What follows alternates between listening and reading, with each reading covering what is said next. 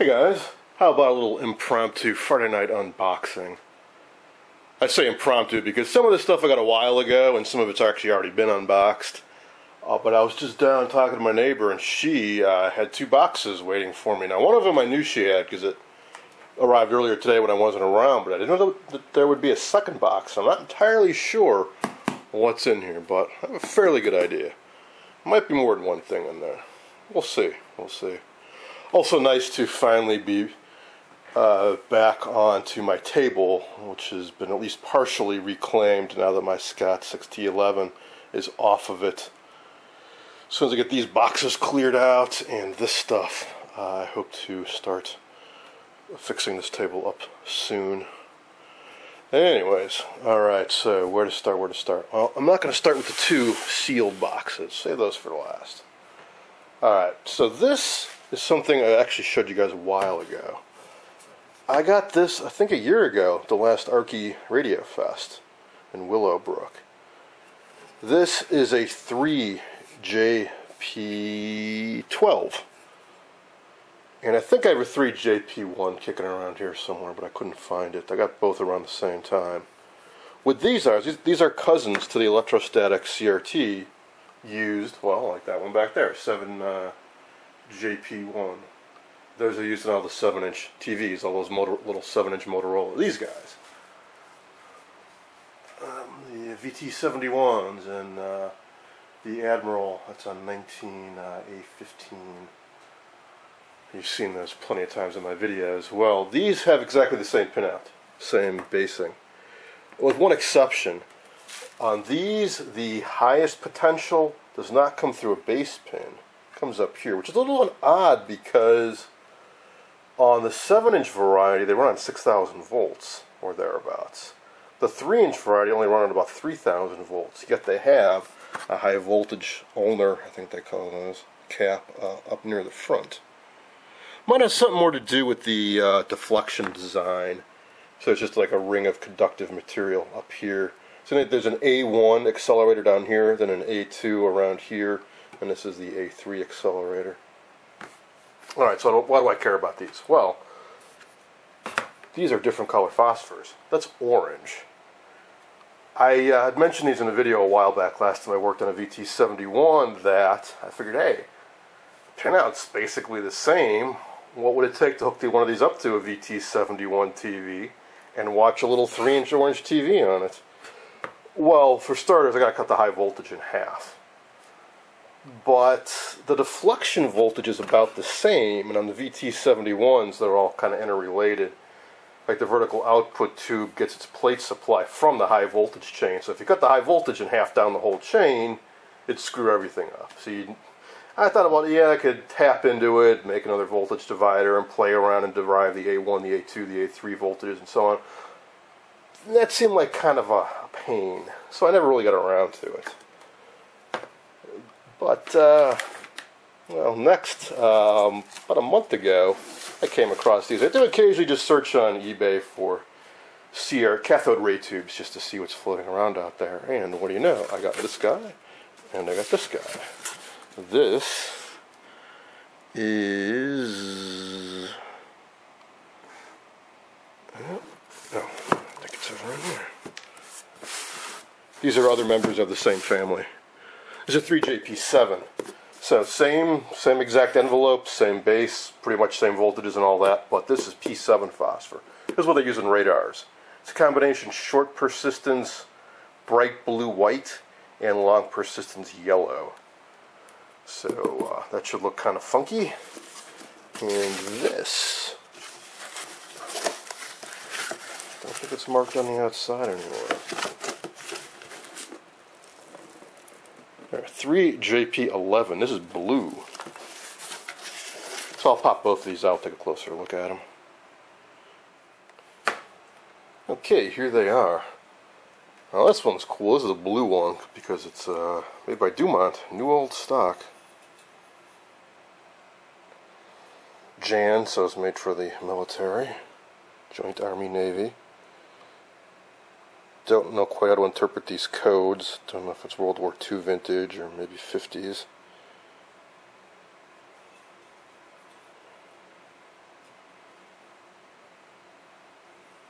So it should be fun. That, that stuff will clean up, I'm pretty sure. Just some gunk on the end of the glass there.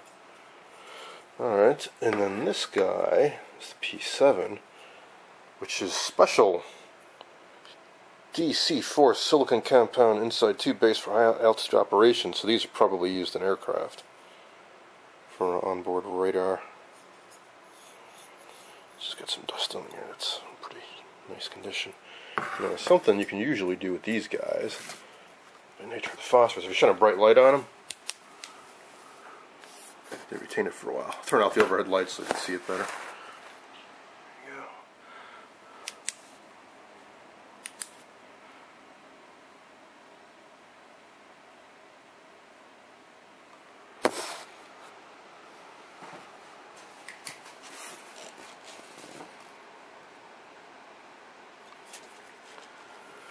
Works even better if I block out some of the light, or you know, put, put my thumb over it while I lit the flashlight up, so you can see clearly that where the phosphor was excited by the flashlight retains its glow for a while.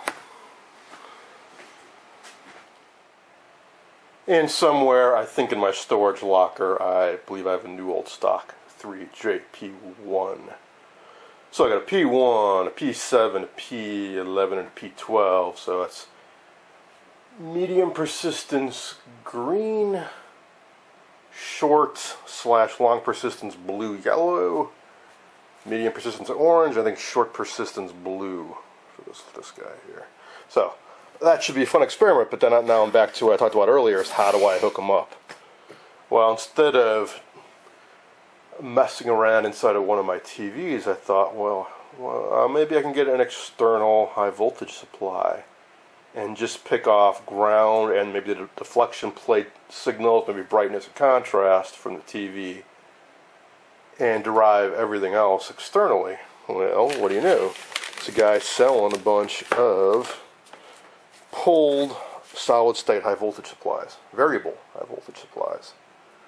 These are pulled off of boards, I don't know, from photocopiers, maybe something like that, where they needed a few thousand volts these were not the defective part, something else was.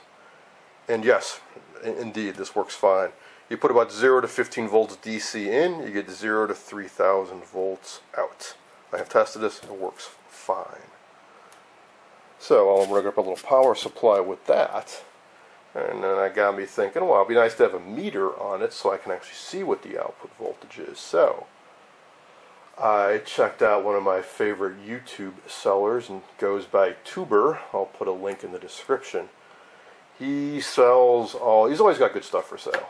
He sells a lot of um, vintagey parts, but most of them are new old stock. That's why I like checking out to see what he's got. Like, got some nice octal tube sockets, the kind with the nice grounding lugs. These are exactly what they used in a lot of the vintage TVs I worked on and we'll continue to work on. And check this out. You know those little uh, pieces of uh, spring metal that are inside knobs that are always missing? Got a whole box full of them, a hundred of them. So instead of having to uh, cut up pieces of uh, sheet metal, shove uh, slivers into, the, into old knobs, or try to salvage them out of uh, other knobs, got a whole mess of the real deal. So, very nice to have. Well, I checked out what he had for sale, and what do you know? Something really, really sweet. New old stock, high voltage voltmeter. So it's got everything, all the mounting hardware, and a template for how to what's how to cut the hole out of uh, a project box. And there it is, zero to ten thousand volts DC. So I figure I'll get a little enclosure box.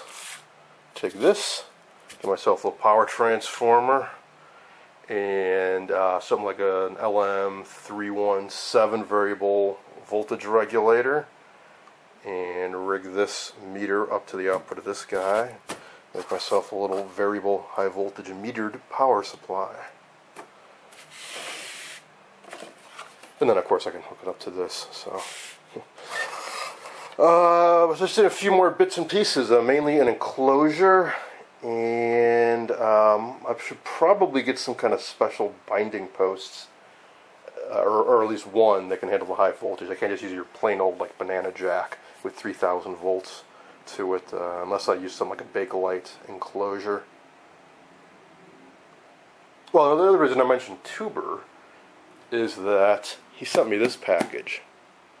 Now, we talked a while back about something I needed, but uh, I'm not exactly sure what he put in here because I didn't I didn't win this off an eBay auction. I, have given him lists of things that I'm that I'm looking for, and uh, he didn't tell me he was sending this, and it just showed up today. All right, let's see what all is in here. Well, I got some newspaper. And looks like we've got a box. We've got a box in a box.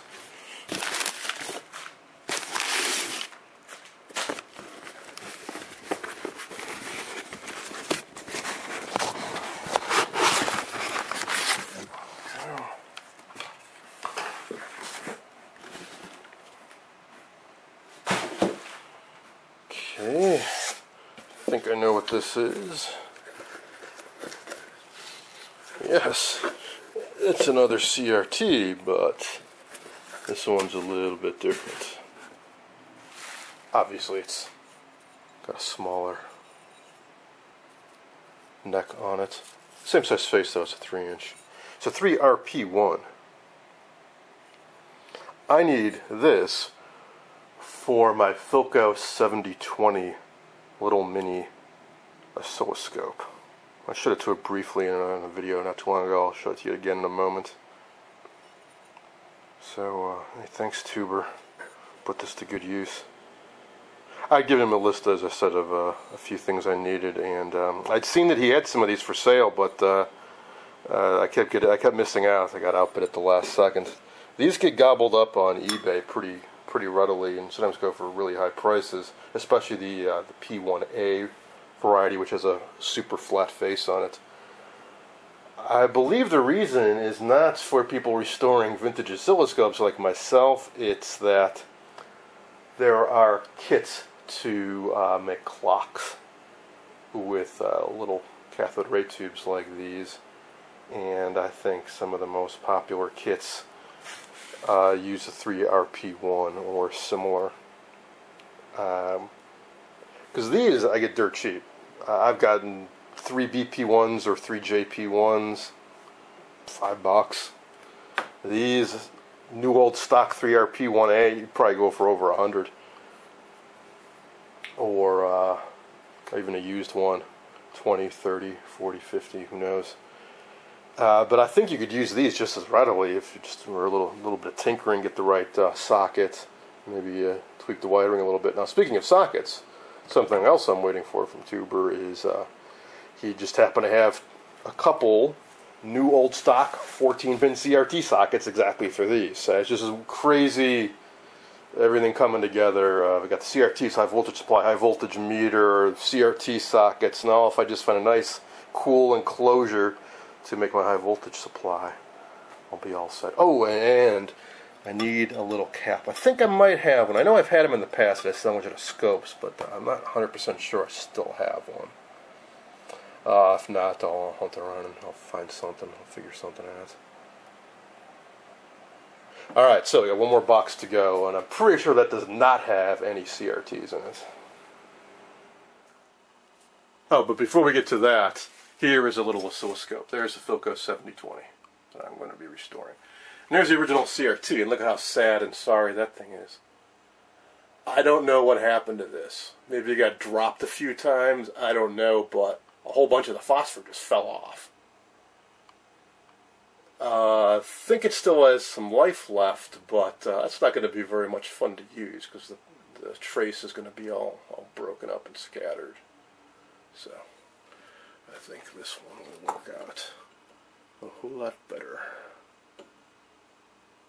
So, I started working on that ages ago, and that was around when my, I think my first camera I used for my oldest YouTube videos broke. I ended up losing the footage later on, so I just, I just kind of shel- literally shelved the project on this shelf, and it's been sitting there for a couple years. Uh, but uh, one of these days, when I get tired of working on radios and TVs, I'll pull that down and uh, finish it off.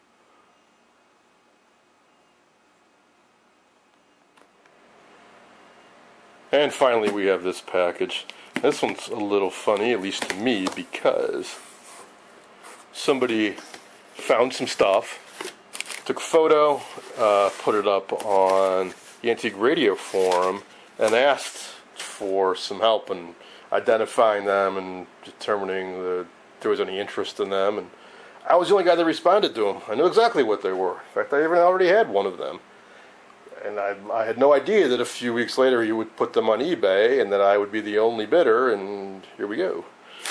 I guess I was the only person who was really interested in this stuff. So, there's actually a few things in here. So, right off the bat, we've got these. You may have seen these before if you watched any of my Predicta Restoration videos. These are Philco Service Pocket Guides. Now, I already have the 59 version, although it's getting a little bit beat up, so I might have another one. So what are these? These are miniature service manuals. So 9037, that's your Predicta holiday. So you get a schematic, fold out schematic, you get a parts locator, a tube chart, briefly some tips. Uh, there's parts locator on the circuit board, or some brief tips on how to disassemble the sets. And there's a 9038, that's the tandem. So there's uh, mention about a little bit of some tips about how to disassemble parts of the set. So it's not quite their full service info, which I also I have a scanned copy of on disk, PDF format, I think. But uh, it's nice to have the real deal. Maybe small, but they're pretty legible, and they're accurate. Stick it in your pocket, and there you go. And the reason I was interested is because I only had the 59. I wanted the 60 because this well, should have, yeah. This has the uh, debutante, uh, princess, and siesta, which I will be getting to one of these days. Those are the 17 inch ones that come in the metal cabinets. So, very cool. And then in case, uh, oh, actually, no, this one should have um, Town Country. If not this one, then 62. I don't remember what the chassis number was on it, but it should be in one of these because it's, a, it's either a 61 or a 62. So, in other words, uh, I've got, I think, at least one set in, uh, in three out of four of these. So, well, that's nice to have. Now, what's in the rest of the box? Well, wow, he went to, he went to town on packing these up. Tubes. Oh, oh, and other stuff. Okay, well, more interesting than I realized. I guess he must have gotten the uh, inherited maybe or something, uh, an old TV serviceman stuff. So we got a bulb and a clip. But that's a neon bulb. They probably used that to detect the presence of high voltage. These other implements, I don't know. a bent thing with a pointy end on it and a tool with a sharp fork on the end. No, this couldn't be. No, that would be inconceivable. This cannot be a tool for adjusting the cones in a concentric radio. no, it wouldn't. Although the tip, damn, that tip might work might work, but this body would have to go because it needs to be 3 16ths inch diameter or less, and this is hexagonal. Let's check it out though. It's crazy because I just got tips on how to make one, as you'll see in an upcoming video on this uh, concentric set. That I went out today and bought a cheap old screwdriver, and I'm gonna uh, file grind whatever that uh, the end of this down so I can put it through here and adjust the cones in this. But boy, it sure looks like these at least have a fighting chance of fitting. Oh, so close. They were just a little bit wider apart. I bet this could be used. I could probably bend them apart, but that is funny. All right, so it's not for that. So if anybody knows what the heck it is for, let me know. Ericsson PicoCal number two. Sounds like something to do with calibration. I think Ericsson made test equipment, maybe.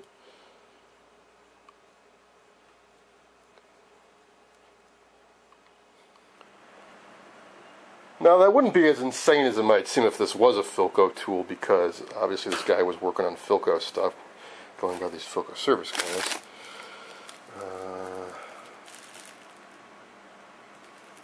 Oh, these other things in here, I don't know. Plastic disc, kind of like a 45 RPM adapter or something. It's, it's not. There's a piece of metal. And it looks like a little switch.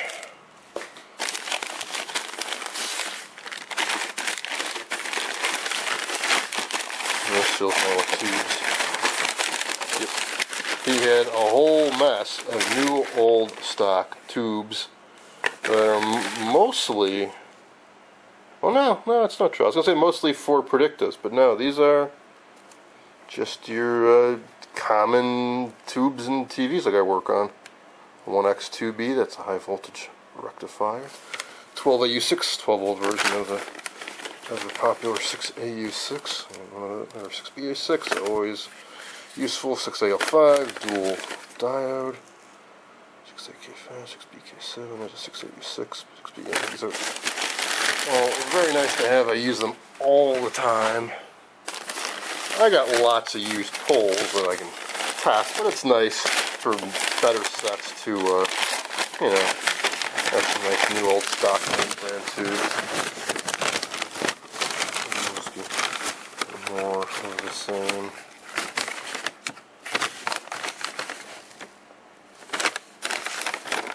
I know a lot of guys when they come across tube caddies and they're full of TV tubes, they oh no, TV tubes, who wants them, who needs them, they're all junk, they're not worth anything. But, uh, obviously somebody like me they are, but, but even in the realm of TV tubes, these are the more useful ones because there's some crossover with these into uh, communications equipment, for example, like 6C4, uh, commonly used in an oscillator. 686 is used in IFs and not just TVs, but also some radios. Curious if there's anything else besides tubes left in. Alright, well, ooh, tubes. Alright, 6BG6. I'll pull all these tubes out, spread them out rather than record me unboxing or uh, unwrapping each one of them. It'll take forever. Okay, here they all are. Including one GE. They got mixed in there somehow. So, I don't know if this guy was a Philco authorized uh, service man or what the deal was, but it's pretty much all Philco. I've only seen a few uh, real Philco 2 boxes before. Some of these I've, I've never seen this design before. It's cool to have such a variety altogether. I don't know what time frame this represents, but they certainly changed. So a bunch of them have the chevron pattern on them, and then we get into this uh, blue yellow. I'm guessing these are older. Don't know for sure. That matches up with the bigger ones back there. And parts. Well, this box is kind of green with uh, stars or galaxies or whatever, and this just has stripes on it. Yeah, well, clearly this is a much newer one. This Philco Ford. So this would be post 62 or so.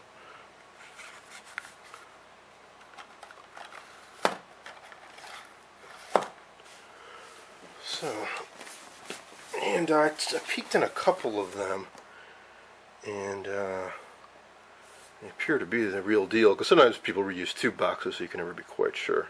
Well, even within these blue and yellow, there's some variation.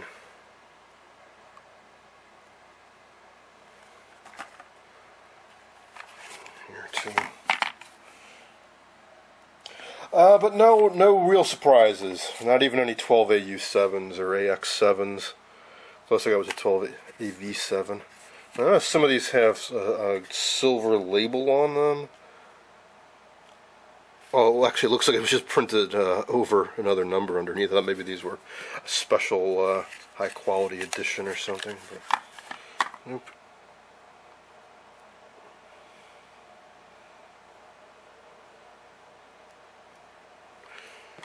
I think some of these are Lochtals. Let's check out this 7F8. Oh, I do have some Philco uh, TVs to restore coming up. I don't just have old Philco radios, I have some Philco TVs. And uh, they do use some of these Lochtal tubes, 7F8.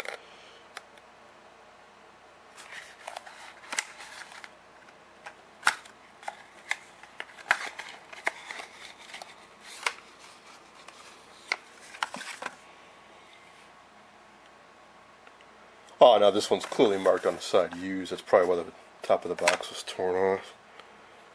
But it is a 7F8 and it is a Philco.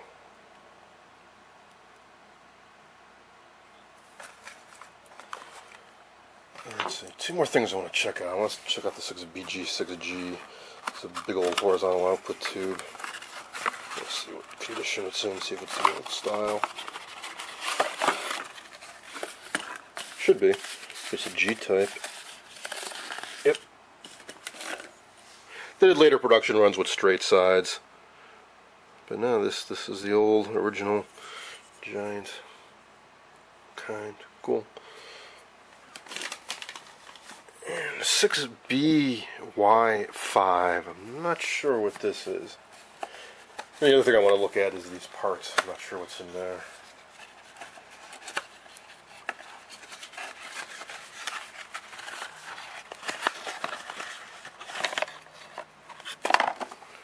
Hmm. Looks like a dual triode.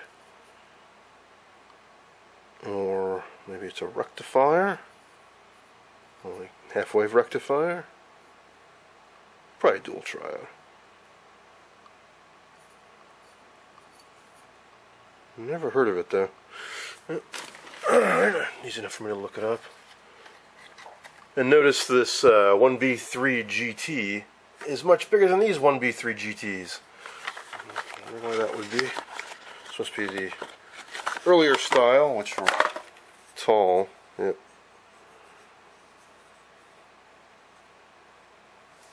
And if I pull out one of these, later ones. Yep, stubby. They're exactly the same thing. But uh, on some vintagey sets, it's nice to use the old style. And on something like a VT71 that used these, and there's a feedback coil wrapped around it, it does make a bit of a difference. Or at least it can. I mean, if you get it positioned in the right space, place, either one will work. Anyways, let's see what's in here. Okay, looks like a universal replacement uh, pot. Universal because they can work these work on half moon or knurled. You cut it down to length. Standard switch and uh, volume control.